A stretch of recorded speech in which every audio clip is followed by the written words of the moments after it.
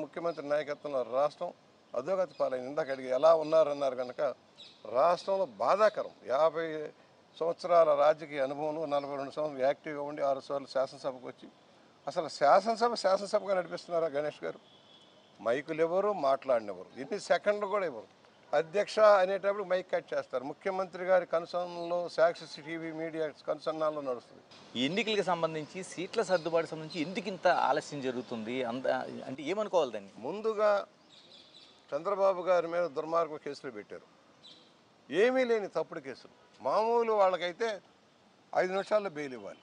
ఆ కేసులో పసలేదు అసలు సాక్ష్యాధారాలు లేని కేసు ఎఫ్ఐఆర్ కడితే బెయిల్ రాకపోవడం అనేది దుర్మార్గం. దానికి ఆ యాభై నాలుగు రోజులు జైల్లో ఉంచాల్సిన అవసరం లేదు.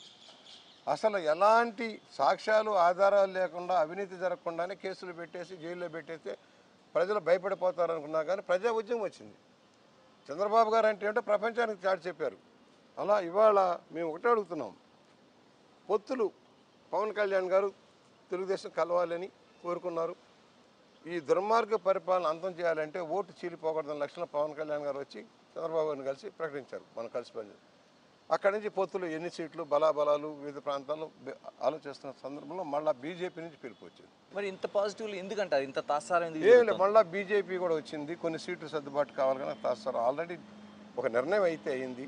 ఆల్రెడీ స్టడీ చేసుకొని వివిధ సామాజిక వర్గాలను బ్యాలెన్స్ చేసుకుంటూ నిర్ణయం అయిపోయింది. నిర్ణయం అయింది కానీ మళ్ళీ కొన్ని సీట్లు సర్దుబాటు చేయాలి. ఆల్రెడీ ఎందుకంటే ఒక సమస్య. నూట డెబ్భై ఐదు అసెంబ్లీ సెగ్మెంట్లో కూడా బలమైన తెలుగుదేశం పార్టీ నాయకత్వం కార్యకర్తలు ఉన్నారు.